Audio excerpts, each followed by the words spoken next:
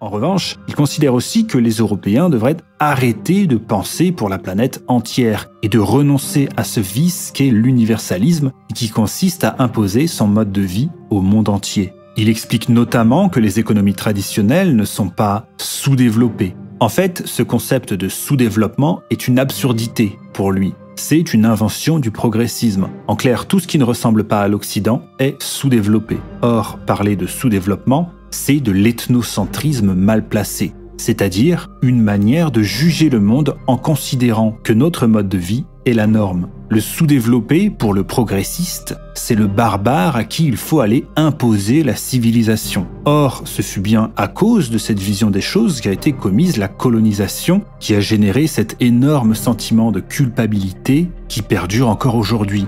Comme si les habitants de pays dits sous-développés étaient moins heureux que des New-Yorkais ou des Parisiens, alors qu'en vérité ils le sont parfois même plus. Mais l'universalisme de l'Européen consiste à juger le monde à travers ses normes. Et cette vision du monde finit par devenir, pour lui, un autre motif de culpabilisation. L'occidental finit par avoir honte d'être plus développé que d'autres.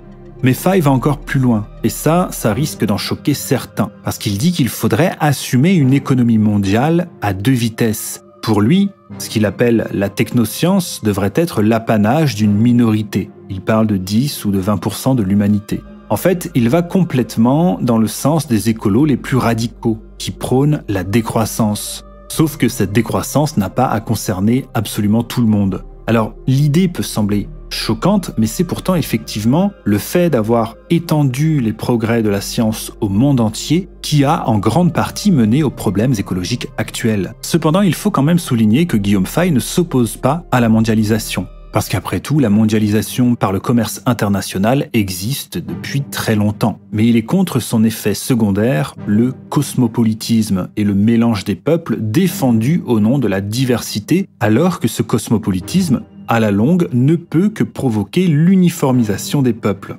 Et c'est peut-être une très bonne chose pour certains, mais dans ce cas-là, pourquoi le défendre au nom de la diversité? C'est quand même une drôle de contradiction.